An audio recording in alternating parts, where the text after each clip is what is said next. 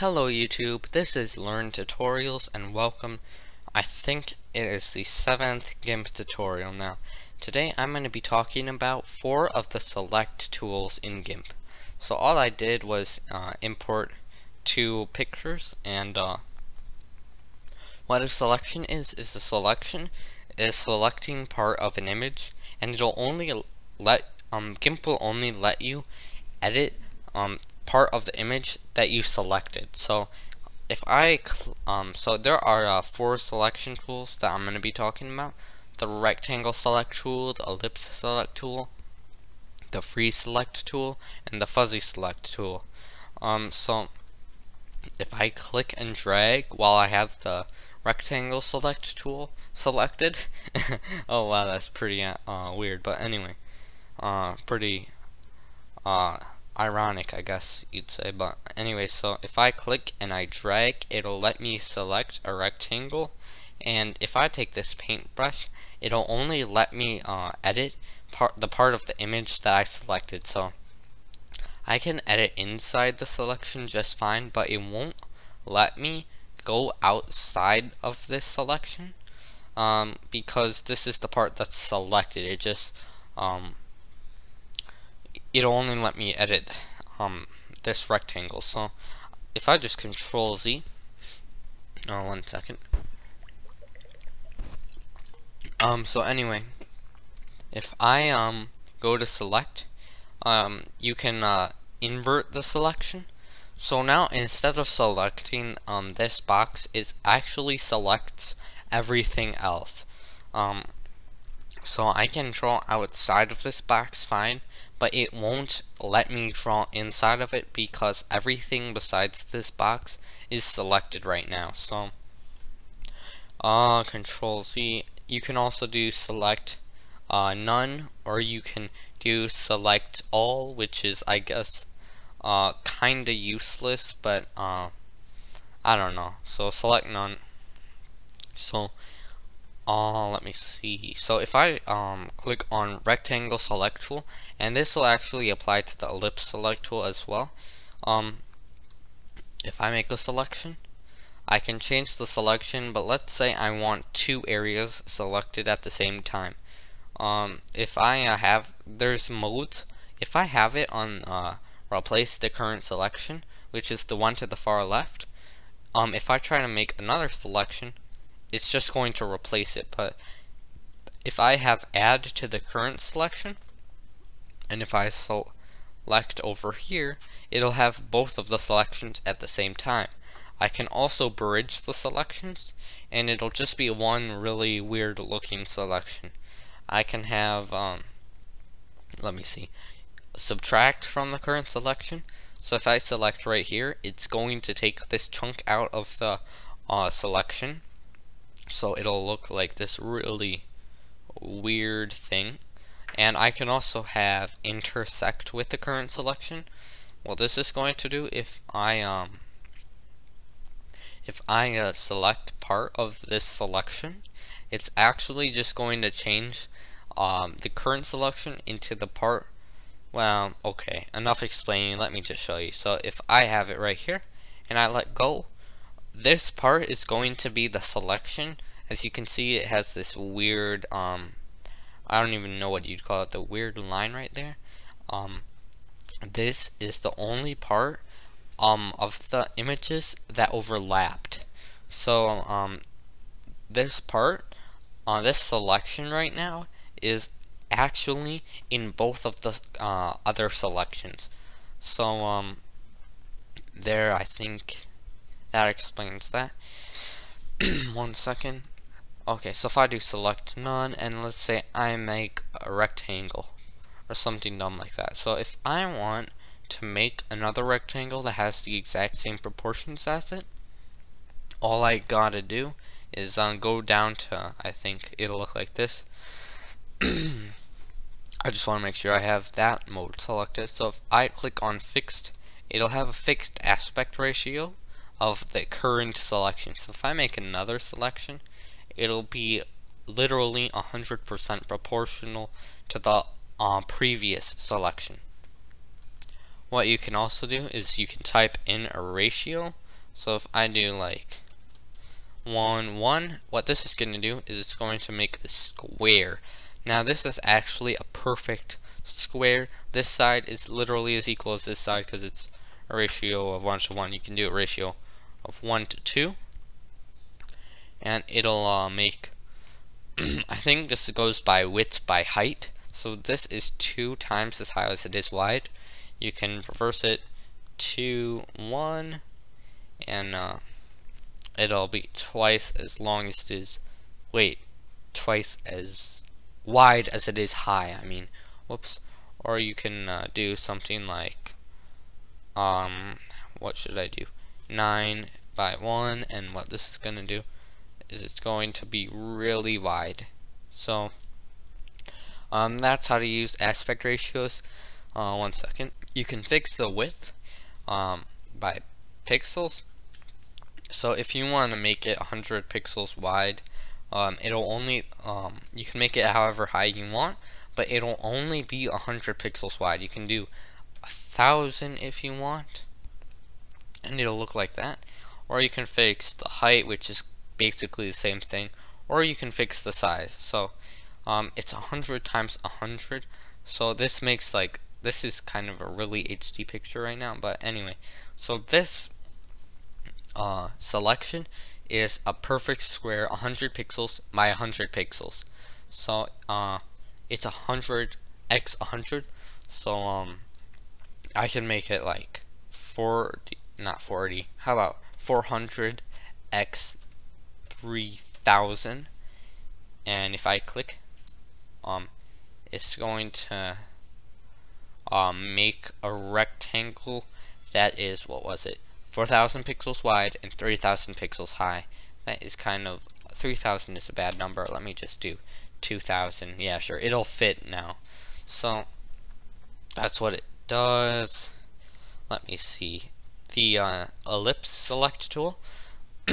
so if I do select none, all the same stuff will apply. You can have aspect ratios and all that junk. But what I want to show you is anti-aliasing. Now, anti-aliasing, um, as you can see, it's checked, and what it basically does is any curved or diagonal lines, it'll uh, it'll make it, ha it, have smooth edges, and it'll kind of not blur it, but it'll like uh, really smooth it out. So if I try to draw it with a hardness 100%, while this selection is anti-aliased, on all of the uh, curved, um, the curved part or the diagonal parts of this ellipse, what it's going to do is um, it's going to make it smooth. So in contrast, if I have one that isn't anti-aliased, and if I uh, put it right next, that should be good.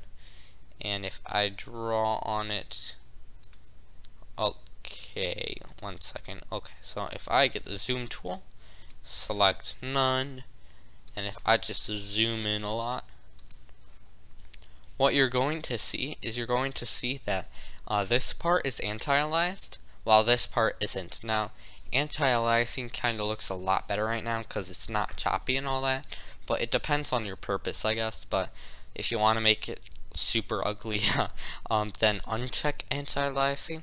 But um, what anti-aliasing does is um, it'll just smooth out the curves and the diagonals in this ellipse um, or part of the ellipse I should say and if it's not anti-aliased what it's going to do is it's going to um, basically um, when you make the ellipse GIMP is going to say hey is the curve is part of the curve going to be over here if so place a pixel over here if it's not um, is this part going to? Then no, it's not. So don't place a pixel there. So it's just going to be like um, the pixel's either going to be there or it's not going to be there. So it makes this really uh, choppy looking thing. But if you uh, have it anti-aliased, what it's going to do is it's going to, I guess, do the same thing, but then it's going to like blur, not blur, how do I say it? It's going to smooth out the curves and the diagonals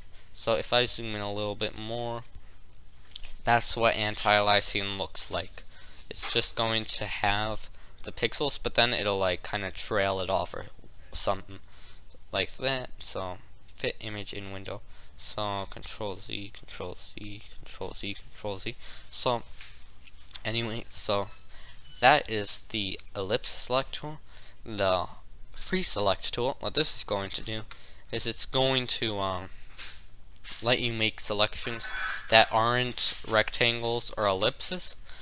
So um, if I click, and then if I click in another spot, um, I can make my own selection shape. So if I make a five-sided selection shape, all I have to do is just click the point I started with to complete the selection. So now it's selected like this, and it's anti-aliased just because I left that check there. Um, what? Let me see what else. So if you're selecting a selection, what you can do before you complete the selection, you can go back and click on one of these, and you can drag it around to change the angle. And also, if you click and then you move the mouse cursor, it's going to like, um, it's not going to be a straight line, it's going to be however you move the cursor.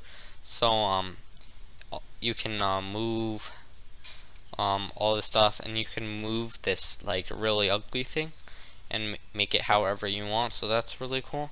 And then uh, just click back where you started, and you have the world's ugliest selection. But let's say um, feathering edges. What this will do, I think it like. Let me bump it up because. Uh, oh whoops, that's percent. I didn't mean that. But anyway, I think it's percent. So if I leave it at 10, what it's going to do when I select, I'm pretty sure, um, if I select this, what it should do is it should kind of blur the selection out, or it should kind of make it smooth. So this uh, paintbrush is hardness 100%, but since the selection had feathered edges, let me see, zoom tool, select none, what it's going to do is it's going to like um, smooth out the edges of the selection. As you can see, um, the brush was like really rigid and it had it was 100% hard, but this is really blurred. So I think that's all with this tool. Now what I'm going to go and do is view, fit image in window, control Z, uh, select none. So the fuzzy select tool, all it does is it selects um, an area based on color. So if I select um, this thing, it's going to, the wall switch is going to select everything that had a similar color that was right next to it. As you can see, it really isn't getting that much, and it's also kind of bleeding out into the uh, wall. But if I want to change that, the threshold, it, it basically changes how sensitive uh, the um, I, not um, how sensitive the tool is. I guess I would say so. If I want to make it not select that much, um, another way of explaining it is the maximum color difference, as you can see.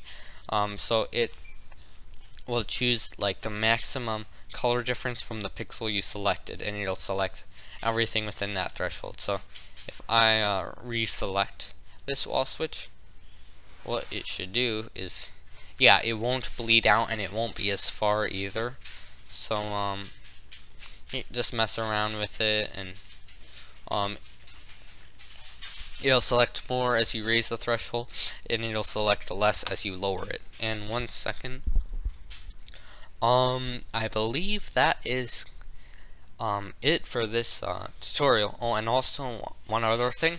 If you have a selection at a layer, and if you press delete, what you might notice is that it just turns blank white instead of showing um, the layer underneath it. So to fix this, just click on the layer and add alpha channel. I think I told you guys this already, but anyway. So if you click delete again, it'll make that part of the um, selected image transparent and uh, wow that looks really weird um, but anyway so yeah that's uh, what um, what it does an alpha channel just An alpha channel, think of it as allowing transparent transparency. If you have one, you can make transparent stuff, but um, if you remove it, it'll just make blank white go there. So that is it for this tutorial. Thanks for watching, and I'll see you in the next one.